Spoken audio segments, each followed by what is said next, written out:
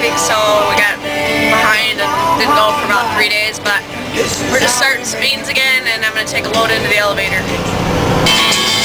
I'm a going and a blowing and a hitting down the road, trying to make a living I've been a driving all night, need to away before the sun to start showing. There's too many miles and not enough time, but I'm gonna make it.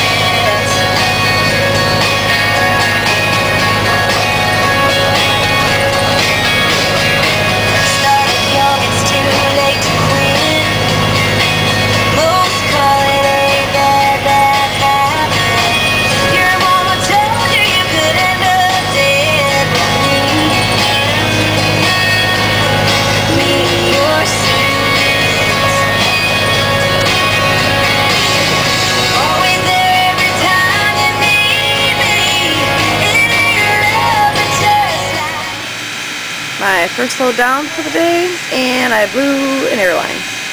So, pretty sweet, I've been down here for four hours. Lucky me, getting a lot hauled today.